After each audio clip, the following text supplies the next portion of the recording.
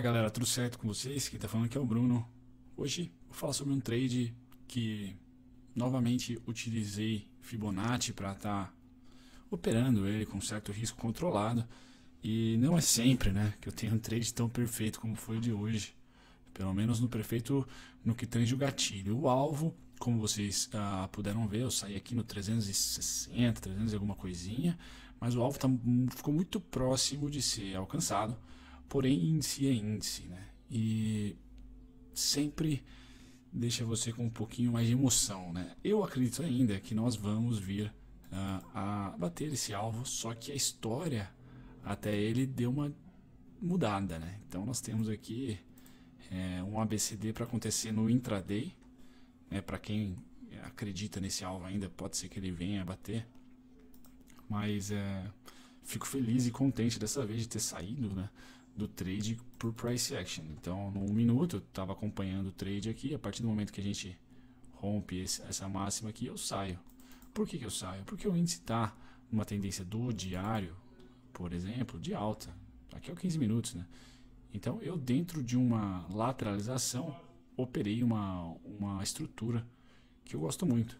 Né? E eu vou explicar para vocês o que, que eu operei. Eu coloquei os triângulos aqui para é, dar essa introdução de harmônicos né? E eu vou explicar primeiro os harmônicos e depois eu explico a, a simetria, que foi o ponto de entrada. Então, o harmônico que eu operei foi um harmônico 5070.7. Então, se nós analisarmos aqui, eu tive XA, B em 50%, o que me sugere um C1 em 25 e um C2 em 6,3. Não coloquei o 6,3, mas ele está mais ou menos por aqui.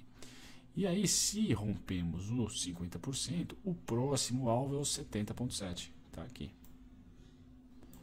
Então aqui eu tinha um harmônico uh, mais uh, geometria comportamental do que uh, Scott Carney, provavelmente dito. Mas poderia ser um Gartley também. se nós colocarmos aqui o 78,6, está é, corroborando ali com o ponto. Então, para quem opera Gartley também, aqui foi um Gartley de venda dentro de um cenário no 15 minutos lateral, o harmônico é muito bom. Então, figuras W e figuras M em lateralidade é show de bola. Né? E aí eu entrei no, na pedra, no 75, e a máxima do dia de hoje foi muito próxima, né? foi no 90. Então realmente não tem muito o que se fazer. Né? É um gatilho. Onde que era meu risco? Meu risco é financeiro de 75 pontos. E depois, com na primeira oportunidade aqui que o preço me dá, nesse candle aqui, o candle já fechou aqui, eu já estou lá no 75, já estava no, no preço. É assim que, que eu opero, geralmente, tá? Ah, pessoas acham, alguns traders colocariam stop aqui, né? Eu já coloco no preço porque eu estou operando intraday, né? Day trade, gráfico de 15 com gráfico de 1 minuto. Então não posso ser muito romântico. Eu tenho que me preocupar mais com o meu risco. O retorno eu quase fiz no 310. Provavelmente ele deve ir lá agora. Pode ser que sim. Essa região dos 260 ao 310 é região de compra, certo? Porque nós fizemos o W, que na minha opinião já está bonitão, já não precisa de mais. E para quem acredita na lateralidade, a gente provavelmente vai fazer um M agora. E assim a gente segue lateral, uh, indicando aí um possível comportamento até as eleições. posso estar enganado, mas uh, enfim, é a minha opinião. Saindo dos Fibonacci, a gente entra para o mais simples, né, que eu considero mais simples pelo menos, que é ABCDs. Então, por que essa linha está amarela aqui? Ó? Certo? Primeiro, nós tínhamos o último a, B, C, D alternado desse movimento que vocês podem ver aqui na tela. Certo?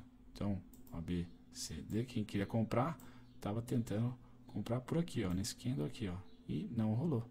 Então, o 75 é justamente esse último ABCD alternado e não deu outro. Foi ali sem choro e nem vela. Né? Outra simetria importante é essa daqui. Vou pegar a ferramenta do Profit rapidinho. Essa aqui, ó. A, B, igual a CD, certo? Então do 840 ao 875 eu tinha venda. Tenho ainda, né? Tá vendendo ainda.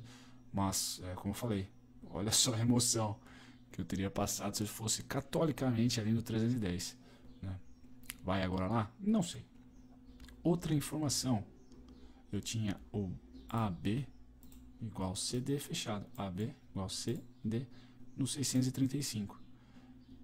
Se esse preço ele desce com vontade para cá, no 310, eu posso ou comprar nessa região dos 310 ao 260, lá de Fibonacci, lembra que eu falei, ou vender no 630, no retoque aqui. Certo? Então, muito interessante a, a, o movimento de hoje. Péssimo para quem opera para quem opera tendência, mas fazer o que? A gente está num, num momento triste no mercado, porque há muita informação fora do gráfico para ser incerta ainda, né? não para ser consumada. Então, os participantes do mercado uh, fazendo um movimento desse aqui, tem duas, a gente tem duas interpretações. Eu tenho duas interpretações. Uma, realmente no diário a gente chega numa uma região de topo, tá numa região de resistência, tá no diário. Eu não vou pôr diário aqui, mas se vocês olharem no diário, a gente está num movimento mais ou menos assim. Ó. Teve uma queda, e nessa queda aqui nós tivemos um fundinho, e agora nós estamos mais ou menos aqui. É, então realmente pode ser um problema. Ponto 2. Uh, ah, nós, os participantes, de modo geral, não sabem quem vai se eleger, não sabem aquilo, não sabem aquele outro. Há muita dúvida no mercado, principalmente aqui no Brasil. Então a gente já começa a ver: opa, eu acho que vai, opa, não acho que vai. Ó. E aqui nesse cenário lateral, é, eu encorajo vocês que, que querem é, operar, conhecer, pelo menos conhecerem harmônicos. Então, tem figuras M e W de retração, tem figuras W de projeção, tem figuras M de projeção. É interessante.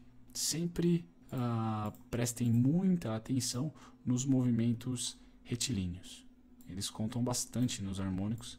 Então, a primeira pernada aí, certo? Aqui no, no gráfico atual, prestem muita atenção nesse cara Prestem muita atenção agora nesse cara.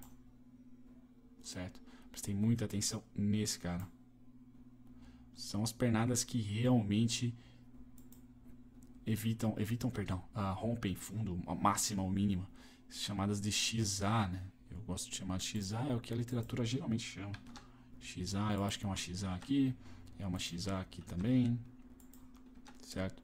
Eu uso 15 minutos, que é um, um gráfico, um tempo gráfico decente para você operar day trade. Eu acho que tem movimentos legais, mas poderia ser 10 minutos, poderia ser 60.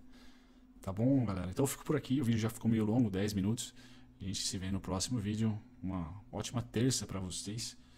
Tchau, tchau.